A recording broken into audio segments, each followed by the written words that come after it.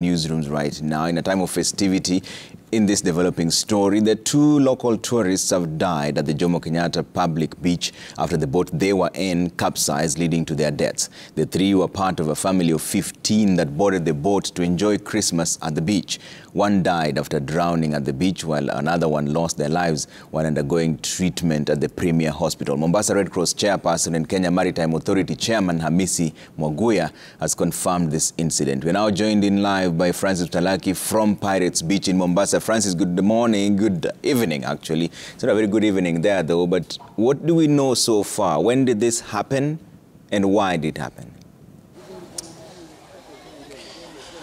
Well, uh, Trevor, it's a sad moment here at uh, Jomo Kenyatta Public Beach, commonly known as uh, Pirates Beach, uh, where a family this morning they came here to enjoy. It is a family of 15. Uh, that is the information that we have been able to receive from the Kenya Red Cross that have been doing uh, the, some works here in terms of making sure that they have been able to uh, assist those families. But I'm now joined by the Kenya Red Cross chairman, Mombasa branch, uh, to talk to us. Maybe talk to us what, what the incident that happened, uh, what really happened with regard to uh, the family that has lost their, their two uh, uh, loved ones. Yeah.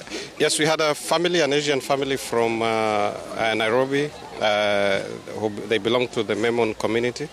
Uh, then they were riding a boat because people, that's what most people will do here, having fun with their family. And then the boat capsized. 11 were rescued. two two adult female were rushed to the hospital together with uh, two infants of between three and five months.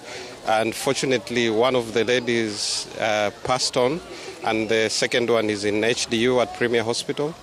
Uh, and then later on, we also the body of. Uh, the body of an adult male from the same family was also found here at the beach, so that confirms two people who have uh, passed on and we are continuing to give the, the family psychosocial support and also whatever necessary support that they require at this time. Many thanks. Maybe we also have the chairman of Kenya Maritime Authority who is here. Um, what next? Because now uh, we're still early in the festivities and uh, the holiday is not over. We still have New Year. What next in terms of the mitigation and measures uh, you're doing to curb such cases? Yeah, we are going to intensify the safety campaign. Uh, the holidays are just starting and uh, it's unfortunate that we've had this incident. So tomorrow we are going to deploy more officers on the ground to make sure that uh, we, we don't face uh, a similar incident uh, uh, once more.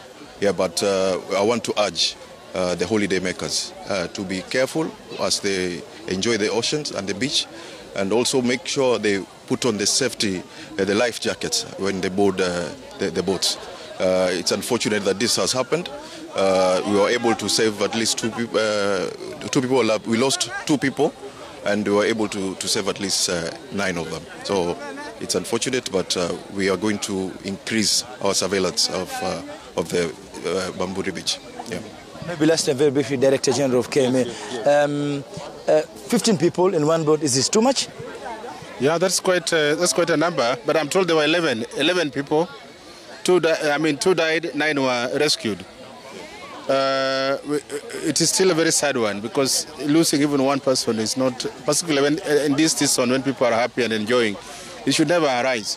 So as the chair has said, we just want to, to, to, to encourage people to be aware, to let them be aware that the water is a good place, friendly, but it's not so friendly. So whenever you go inside, just make sure that you have your, your, the safety gears. And uh, we also urge the boat operators to ensure that the safety gears are able to, to close very well. To close very well so that even if an incident happens, you don't depart from the safety gear. It's able to hold you very, very well. So we'll just continue promoting this to make sure that people are careful. Many things. So those are still officials from the Kenya Maritime Authority together with the Kenya Red Cross who are still here monitoring the situation that tells us uh, from tomorrow they will intensify operations and sensitization uh, to the residents given that until this moment people and residents are still enjoying here uh, at the Pirates Beach, which is one of the most uh, largest areas, uh, the public beach that uh, uh, residents are allowed to access. And they're saying that tomorrow there will be uh, more sensitization and making sure that uh, the regulations will be followed. Back to you, Trevor. It's Francis, Francis Talaki there speaking to us live from Mombasa. The Christmas mood has slightly been dampened there, but we are here praying for the family and sending out our condolences.